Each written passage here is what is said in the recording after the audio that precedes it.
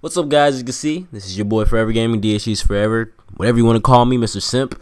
You know, and we're back with another video. This video is a patch note update type of thing for Infinite Warfare. It's on all consoles and it's a pretty big update. It's 1.9 gigabyte update. So, recommend hopping on and getting that download if you're still playing the game.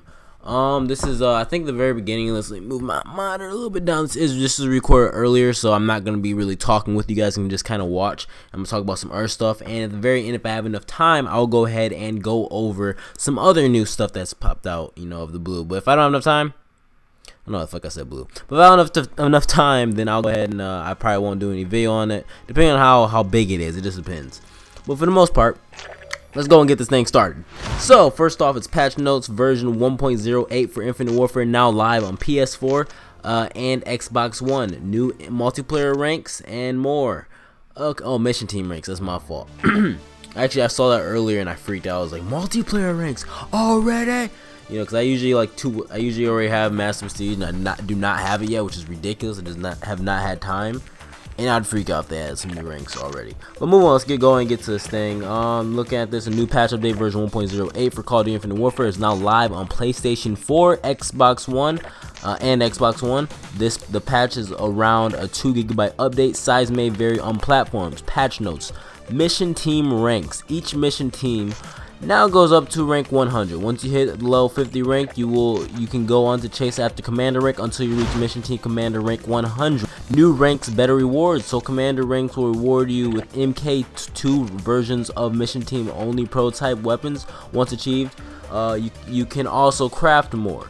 Uh, commander ranks reward salvage every level you rank up as long as as long as that level isn't giving you a Mark II prototype reward. So pretty much what this is saying is you're pretty much going to get the prototype version, the Mark II um, prototype version of the mission team rank. So say the Gemini, right? So say you hit level 100, you'll get the the prototype version. Um, you get the Mark II version of the Gemini excuse me. Um so be looking forward for that in every rank you'll be getting salvage that's actually a really really dope thing. A lot of people talk about ways to get salvage you're not used to get that with the lower ranks. So that's really dope especially for, someone like me that has every rank done or every mission team done. That's really really dope for me because uh getting salvage is uh, obviously pretty useful.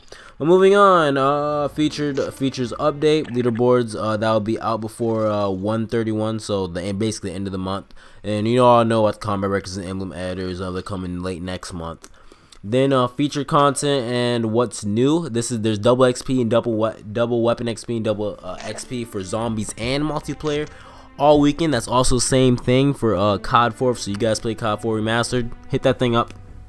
And then uh, there's Hyper Team Deathmatch. They add Hyper Team Deathmatch uh, it's going to be here till February 3rd. The payload charge rates are bumped up to seven times their normal speeds on all platforms. That's actually fairly dope. And I might end up trying that thing because It sounds pretty dope. You know, you can also get a lot of challenges done too. So I recommend hitting that thing up. Uh, Call of Duty World League World League personalization pack pretty much is like 300 CP, I believe it is. Hit that thing up if you want to go ahead and get that. Usually those those packs gonna be really cool. I don't know what this one's gonna look like, but I know the one in Advanced Warfare is pretty dope.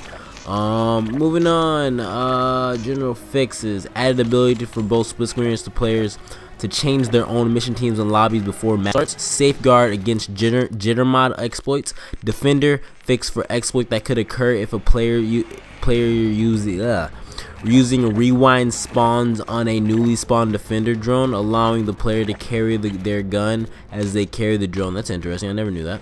Adjusted taunt menu to wrap to the bottom of the list. Okay. Uh, during the final kill cam, the team emblem will show uh, emblem emblem shown was the emblem of the user who died rather than the player who got ki got the kill. This has been fixed. Hardcore search and destroy fix for friendly fire is not tolerated displaying after every round of, of, for the remainder of the game. Added ability to equip calling card and emblem after acquiring them from supply drop. Um, oh, that's pretty. Wait, added ability to equip calling card and um, after acquiring them from a supply drop. Can we do that before?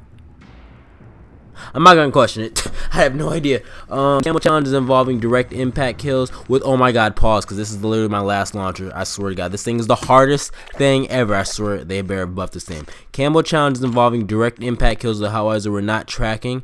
This has bitch. This ain't this shit for me. I'm mad right now. I'm really mad right now. Low key though. Um, I guess maybe I was getting getting the kills and it wasn't really counting for me. But honestly, it was just hard. It's just hard as hell to get the direct impact kills. Period. That thing is ridiculous, and you're gonna be grinding for that for days to get that thing done. It's ridiculous. Um, but going ahead and getting this, the keeping this going. Uh, various updates to weapon camos. Fix for weapons. SPM not being calculated. Uh score per minute by the way. Not being calculated correctly in some instances. Camo adjustments for the mk2 rec not covering the right side of the weapon. Allow players to skip mission team videos even if it is their first time seeing them which is pretty cool. Fix the KBS Hairbringer reload animation playing twice while holding down both triggers, fixing the issue where the jammer grenade was not damaging score streaks correctly, fix an error a player a error player would receive when attempting to edit a class with the OSA, um, fix the issue where the player with the Kimbo weapons were immune to the Steel Dragon. That's actually crazy. Uh, then there's CWL and Codcaster stuff. Uh, what this goes ahead and does next is it's a fix for teams colors not appearing in the proper shade added CWL specific game mode icons, fix for cold blood not affecting thermal scoping for casters, Xbox, adjusting the position of game mode icons on the uplink images that does not stretch, removing the required number of players for CWL matches, allow the multiplayer casters in the same lobby. Woo! Got thing done. I have like 10 seconds left for this video's done. Thank you for watching the video. You guys have a great day. Uh, hopefully I can get this all time better, you know, but you guys have a great day. Thanks for watching. Peace.